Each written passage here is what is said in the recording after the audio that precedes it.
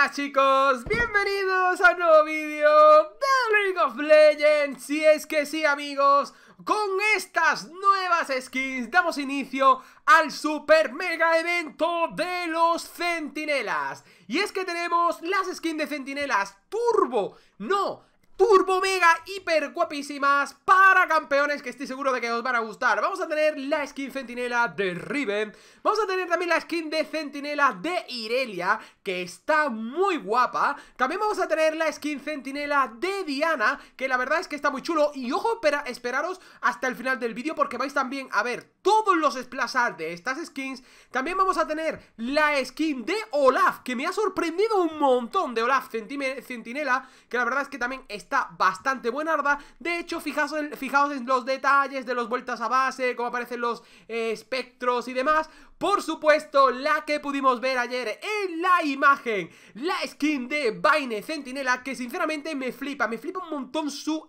Splashar La verdad es que es de los mejores. Creo que la calidad que han cogido los Splashar de las skins Centinela es algo fuera del otro mundo. Sin lugar a dudas, 10 de 10 y como no, tenía que llegar un arruinado Y un arruinado que viene con su edición Prestigio Sí amigos, y es que tenemos a Pantheon con la edición Prestigio Y atentos con el tema de las Prestigio Porque hablaremos en un vídeo en un futuro Cuando pase todo el gordo esto que tenemos aquí eh, de noticias y demás Hablaremos en un vídeo de las próximas skins que vamos a tener del ámbito de prestigio para lo que queda del año. Aquí vamos a ver ahora, como he dicho, los Splashar y quiero que mostremos cierta atención porque mola muchísimo. Este evento pinta que va a ser la leche. Aquí tendríamos el de Riven que vemos cómo se enfrenta a las sombras de, de la ruina. También veríamos el de Vaine. Brutal espectacular, digno de tatuárselo en la piel los main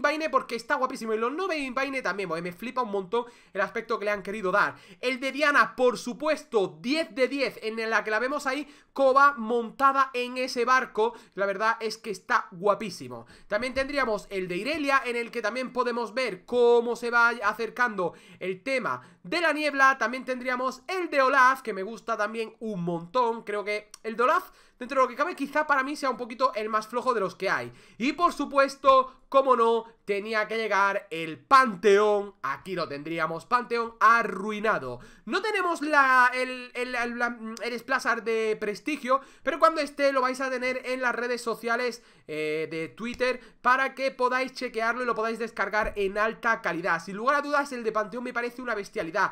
Vemos como un Panteón totalmente envejecido, con una barba blanca, vemos también en el escudo como aparece como una especie también de cara muy anticuada, así que en definitiva creo que es una auténtica pasada. Así que poquito más chicos, espero que os haya gustado muchísimo este vídeo, comentadme qué os parece y nos vemos en el siguiente, adiós.